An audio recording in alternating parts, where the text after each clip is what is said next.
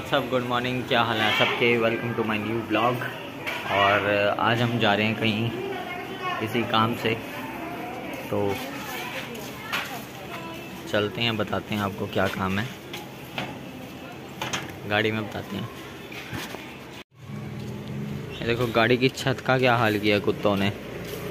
ऐसे ना मतलब खड्डा डाल दिया, अंदर कर दिया स्क्रैच ही स्क्रैच डाल दिए। तो ये हम आए हैं शिव शक्ति मंदिर सेक्टर तीस भी। और चलते हैं अंदर, भोलेनाथ के दर्शन करते हैं। यहाँ पे सावन का महीना है तो तीस के तीस दिन श्रृंगार होता है।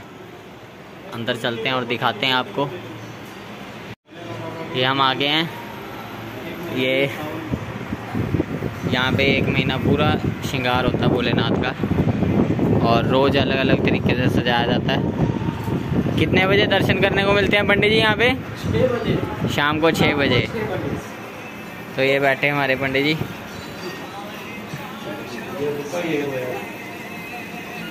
ये देखो ये फूल की छटाई हो रही है। जय माता दी पंडित जी। ये बैठे हमारे जय के पंडित जी। पंडित जी हेलो। ये हमारे कुलदीप पंडित जी। पंडित जी हेलो।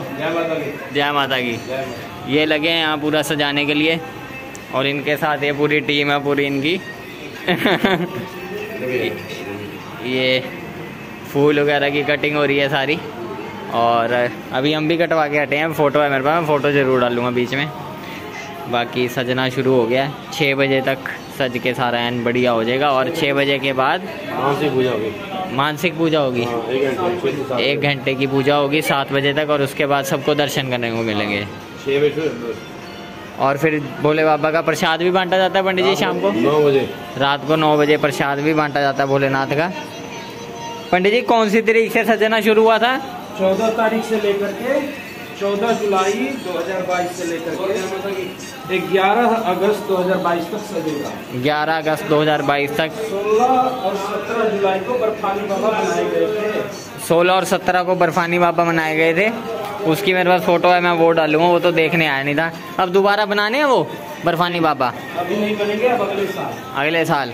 और वो वाला श्रृंगार का बोना है वो जिसमें किसी की एंट्री नहीं होती वो स्पेशल वाला। ग्यारह तारीख को नोट से सजाया हाँ ग्यारह तारीख को देखने वाला होगा। वहाँ उस टाइम सख्त यहाँ पे एंट्री मना होती है। हर रंग का नोट दिखता है यहाँ सजने के लिए। उस टाइम उस टाइम तो पंडित जी सारे कच्चे बनियान में सजाते होंगे ना।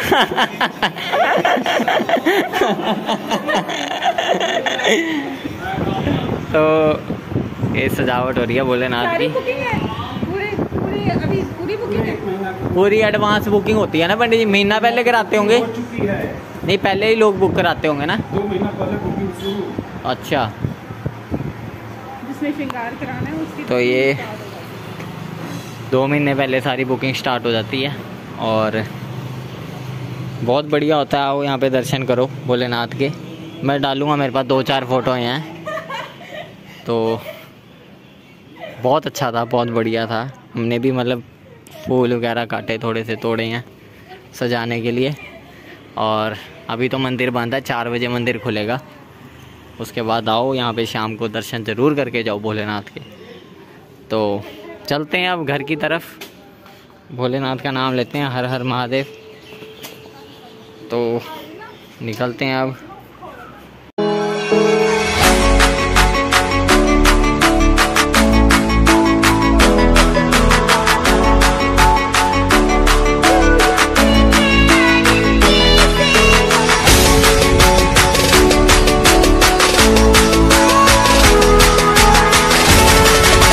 तो आ गया मंदिर से बाहर, हर हर महादेव। चलते हैं अपनी गाड़ी की तरफ़ और निकलते हैं। सारी फैमिली के साथ आए थे, बहुत दिनों बाद आए हैं मंदिर में। यहीं के रहने वाले यहीं जम्बल जम के पल के बड़े हो गए। बट आने का मौका ही नहीं लगता। तो चलते हैं अब फटाफट और निकलते हैं। तो निकलते हैं अब, जैसा कि मतलब आपको पता है, सावन के दिन चल रहे हैं तो बहुत बढ़िया जाते हैं ये लोग।